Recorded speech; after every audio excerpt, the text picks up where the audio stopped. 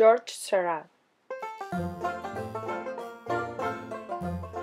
1859 1891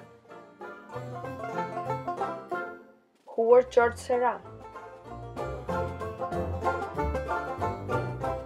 He was a French painter known for creating the painting technique known as pointillism.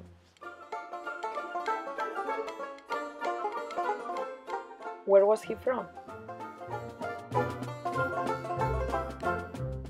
He was from Paris, France.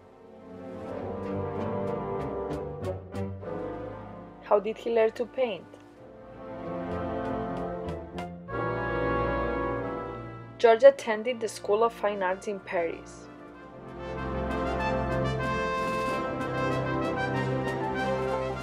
His parents were wealthy, allowing him to focus on his art.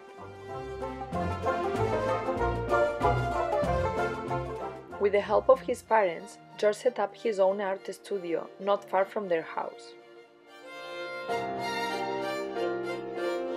He began to explore the science of optics and color.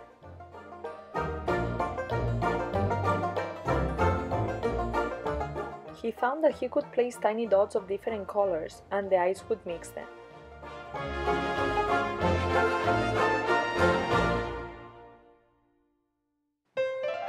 His friend Paul Signac began to paint using the same method. Together they founded a new style of art called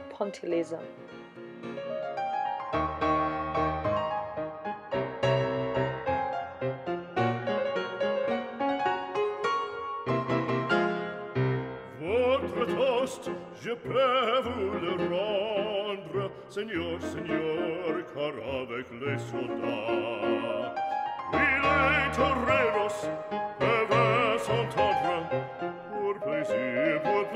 plaisir, ils ont les combats, le cirque est plein ce jour de fête. Sunday of the Island of La Jatte is his masterpiece.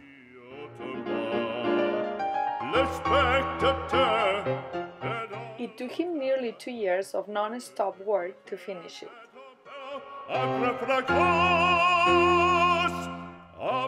When Seurat finally exhibited the large painting, people were amazed.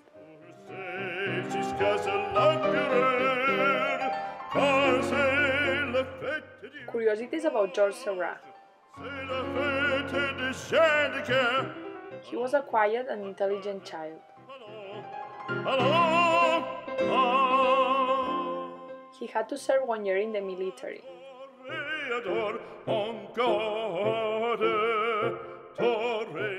After he served in the military, he spent two years drawing in black and white.